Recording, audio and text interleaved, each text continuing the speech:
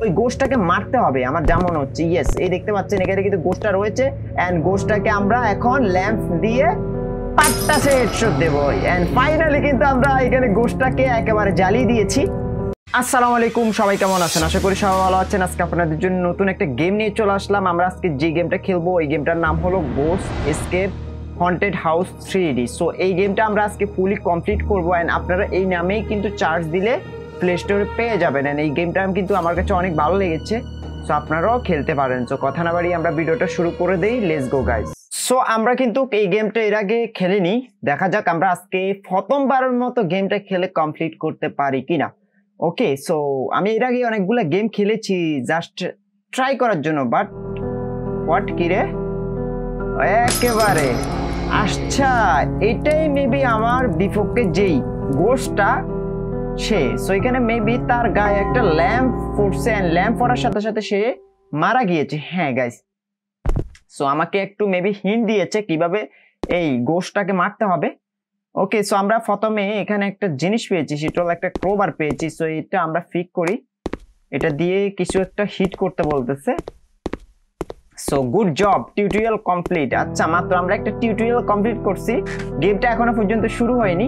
এই তো আমরা গাইস প্রথম লেভেলটা আমরা এখন কমপ্লিট করার ট্রাই করব। বাট দেখতে পাচ্ছেন ব্যাকগ্রাউন্ডে কি আওয়াজ? ওকে. আমি বুঝেছি এখানে আমাদের তেল শেষ হয়ে গিয়েছে মানে ফুয়েল সো আমাদেরকে আশেপাশে কোথাও বাড়িতে থেকে আমাদেরকে ফুয়েল খুঁজতে হবে। সো আমরা আশেপাশে একটাই বাড়ি পেয়েছি এই বাড়িটা। সো আমাদেরকে এখন এই বাড়িটার ভিতরে ঢুকতে হবে। ক্রোবারটা দিয়ে মেবি দরজাটা ভাঙতে হবে বা এই দরজা দিয়ে ঢুকতে হবে। সো চলুন আমরা ক্রোবার দিয়ে এটা এখন খুলবো।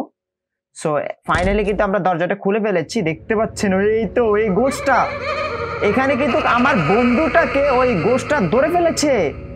আচ্ছা সো আমার কিন্তু এখানে অনেকটা গেম হার্ড হয়ে গিয়েছে আমার জন্য, কারণ এখানে কিন্তু যেই গোষ্ঠটা রয়েছে, সে আমার বন্ধুকে ধরে ফেলেছে। এই তো, এই ল্যাম্পটাই আমরা দেখেছিলাম প্রথমেই যে ওই গোষ্ঠটার গায়ে মারার সাথে সাথে ওই গোষ্ঠটা মারা গিয়েছে। সো আমাদেরকে প্রথমে এই ল্যাম্পটাই নিতে হবে। সো আমাকে একটু হিন্ট দিয়ে দিয়েছে। সো এখানে কিন্তু ফায়ার চিহ্ন আছে।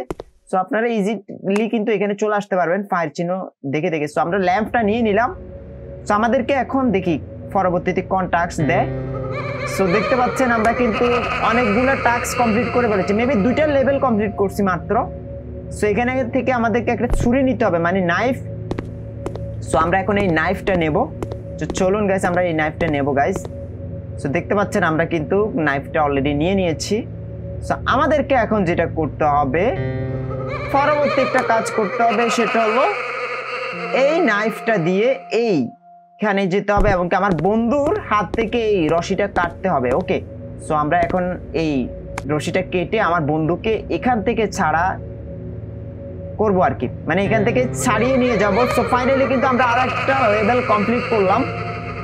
এখন আমাদেরকে উপরে যেতে হবে। এই তো দেখতে পাচ্ছেন গোষ্ঠটা মেবি এখানে একটা চাবি রেখে গিয়েছে। হ্যাঁ গাইজ আমরা এখন এই চাবিটা নেব। অ্যান্ড এই গেমটা একেবারে ইজি গাইজ কারণ আমাদেরকে প্রত্যেকটা লেভেলে এখানে তারা হিন্ট দিয়ে দিচ্ছে কোথায় কি আছে, না আছে। এত ইজি গেম আমি এর আগে দেখি নাই।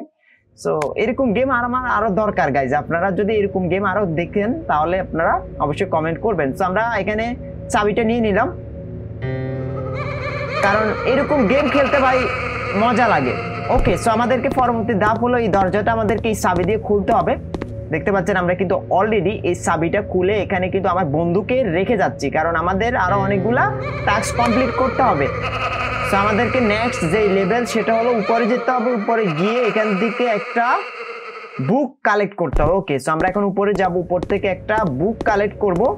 কারণ আমাদেরকে এখানে বইটা যদি কালেক্ট করে, দেখি কি বই সেটা আগে দেখি। দেখা যাক, এখানে দেখতে পাচ্ছেন একটা বই দেখতে পাচ্ছি। ওকে এই বইটার নাম হলো ম্যাজিক বুক আচ্ছা আমরা একটা ম্যাজিক বুক নিয়ে নিলাম।